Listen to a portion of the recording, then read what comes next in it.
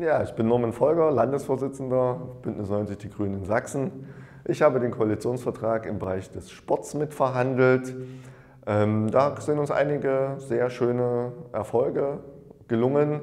Zukünftig wird es so sein, dass im Bereich der Großsportveranstaltungen nur noch gefördert wird, wenn es ein entsprechendes Nachhaltigkeitskonzept gibt. Es ist uns auch gelungen, dass die Fanprojektarbeit, die Fußballfanprojekte gestärkt werden. Gleichzeitig ist es uns ebenso gelungen, dass wir mehr Geld äh, in die Präventionsarbeit im Bereich Antidiskriminierung, aber auch Gewaltprävention, gerade im Kinder- und Jugendbereich stecken werden. Ähm, das sind sehr schöne Erfolge in diesen Bereichen. Wir werden auch zukünftig die Kommunen entlasten, äh, indem wir die Investitionsförderung im Bereich des äh, Sportbaus an andere Investitionsprogramme angleichen werden in Sachsen, was dann automatisch eine Erhöhung bedeutet. Das freut uns auch sehr, dass wir hier die Kommunen bei der Sportinvestförderung entlasten können.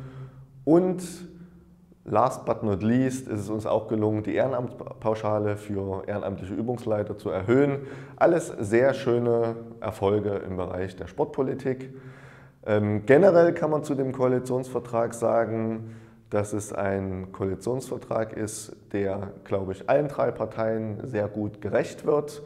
Ähm, für uns kann man sagen, dass da sehr viel ähm, Inhalte unsererseits verhandelt wurden, die eine klare Haltung gerade im Demokratiebereich erkennen lassen, dass wir eine ökologische Handschrift in unserem Koalitionsvertrag verankern konnten und dass wir auch in vielen Bereichen ähm, Themen wie Weltoffenheit äh, integrieren konnten, sodass ich eigentlich nur empfehlen kann, auch unter dem Hintergrund, dass wir für dieses Land Verantwortung übernehmen müssen ähm, und auch natürlich wollen, euch nur empfehlen kann, stimmt für den Koalitionsvertrag.